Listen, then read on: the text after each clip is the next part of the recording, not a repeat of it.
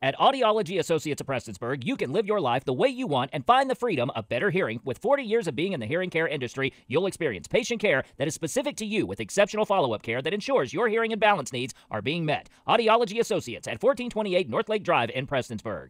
As the anniversary of last summer's devastating floods approaches, the Big Sandy Area Development District and SBP will be hosting a meeting for long term flood recovery. Local, regional, and federal flood relief services and other resource providers will be in attendance to assist with unmet needs. We know that we have many in our community that still have not fully recovered from the flooding.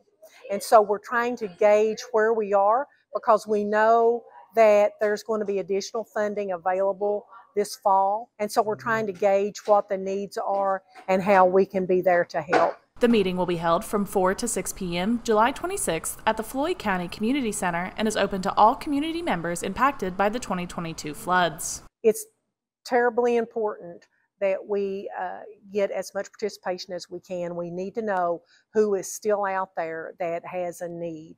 Uh, I know, you know, I get calls every week but I know that we're not we're not reaching everyone. We're trying really hard. We have case management in place, and so we're trying to connect our folks with case managers, uh, case workers to help them to connect them to the resources.